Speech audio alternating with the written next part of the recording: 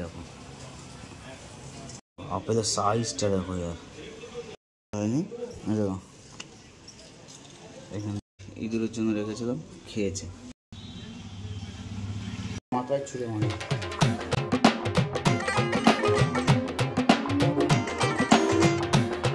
নমস্কার বন্ধুরা, চলে এলাম একটা নতুন ভিডিওতে। আজকের ভিডিওটা সেই দোকানেই। আমার তো একটাই কাজ, এখন দোকান ছাড়া কোথাও তো যাওয়ার রাস্তা নেই। এখন দোকানে বসে থাকতে হচ্ছে সারাদিন। সকাল থেকে দুপুর দুপুর থেকে সন্ধ্যা সন্ধ্যা থেকে রাত। একদিন ধরে ইঁদুরে যে আমার সাথে খেলছে গো, কি বলব? আমি কিন্তু ইঁদুরের জন্য আলাদাভাবে আলাদা শশা আপেল, যা থাকে সবগুলো আলাদা আলাদা করে এক জায়গায় রেখে দিই। রেখে দেওয়ার পরেও ওরা তাও আমার সেই ফলের জুড়ি থেকেই ফল খাবে। চলুন দেখাচ্ছি। ইঁদুরের জন্য রেখেছিলাম, খেয়েছে। হয়নি? এখান থেকে এই যে মানে কি পাচ্ছে ওরা বুঝি না। গণেশের উপর খুব ভরসা করি। কিন্তু তারপরেও গণেশ কেন আমার সাথে এরকম করতে জানি না। যাই হোক, খাচ্ছে খাক, অসুবিধা নেই। কিন্তু বেশি জিনিস নষ্ট না করবে, এটাই চাই। পাপ্পা, তুমি তোমার বাহনকে একটু সামনে রেখো। দূর তো যেমন তেমন। কিন্তু সালা পিঁপড়ে তো আমাকে ছাড়ছে না। মানে পিঁপড়েতে এত পুরো চিড়ে বাতাসা নকুল দানায় পুরো পিঁপড়ে একদম। মানে ওদের রাজত্ব পেয়ে বসছে। আমি দোকান বন্ধ করে ওদের নামে করে দেবো সব। পিঁপড়ের অবস্থা। শুধু ওইখানে এই যে। আরও। এই যে র্যাক দিয়ে পিঁপড়ে সব হেঁটে বেড়াচ্ছে। কোনোভাবে সামলাবো কিন্তু আমি পিঁপড়ে কী করে সামলাবো এখন? চক দিয়েছি, চকেও কাজ হচ্ছে না। এখন কী করে আপনারা কমেন্টে জানাবেন যে পিঁপড়ে সামলানোর জন্য আমি কী করব পিঁপড়ের জন্য? একবার ওল্লা উঠেছে, বড় বড় কালো পিঁপড়ে ওল্লা সেগুলোকেও মানে কেরোসিন দিয়েছিলাম। তাতেও সালা কোনো নেই। মানে এখন একটু ওল্লাটা কম আছে, কিন্তু সালা পিঁপড়ে, গুড়ি পিঁপড়ে একদম পুরো শেষ করে দিচ্ছে। তারপর আবার এই ইঁদুরে দু একটা করে তো আমার খাচ্ছে খাক, তাতেও সমস্যা নেই। কিন্তু ঝুড়ি থেকে খাচ্ছে, ওদের জন্য আমি রেখে যাচ্ছি আলাদা। তারপর ওদের হবে না, ওরা ঝুড়ি থেকেই খাবে। একটা নতুন আপেল এসছে, দেখাচ্ছি তোমাদের সবাইকে। এই দেখো। আপেলের সাইজটা দেখো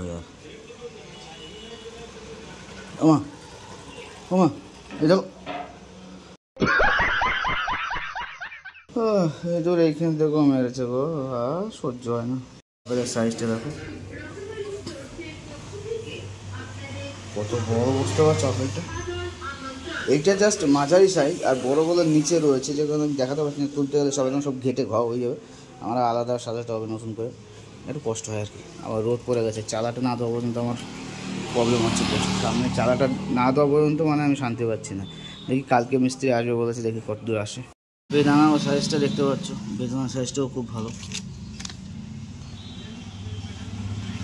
আছে একটা জিনিস আমার সহ্য হচ্ছে না।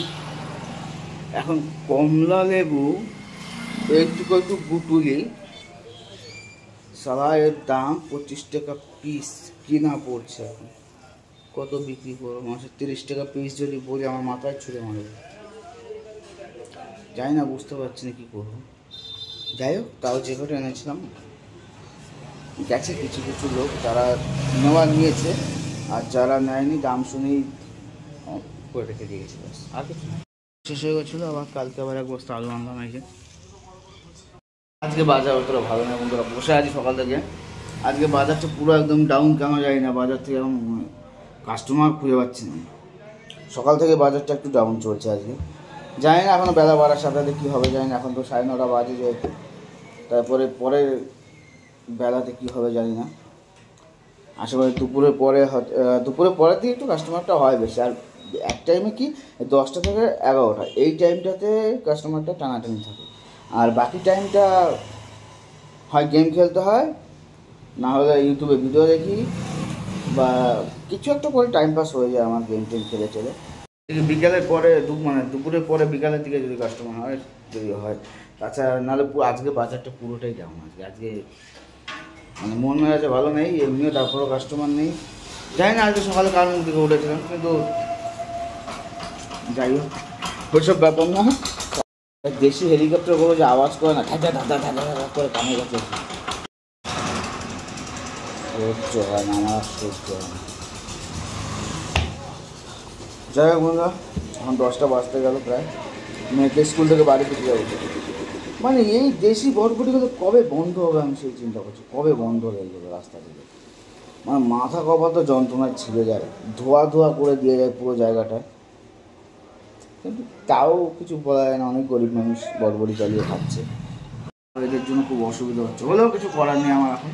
কিন্তু খুব অসুবিধা, রাস্তাঘাটে এদের জন্য প্রচুর প্রবলেম টোটোতে তো অসুবিধা করেই রেখেছে, কিন্তু তার উপরে বড়বড়িতে আরও মাথা যন্ত্রণা বাড়িয়ে রেখে দিয়েছে। জানি না এদের কী হবে বা আমাদের কী হবে, সেটা পরের কথা। যাই হোক, এখন স্কুল ছুটি হওয়ার টাইম হয়ে গেছে প্রায়।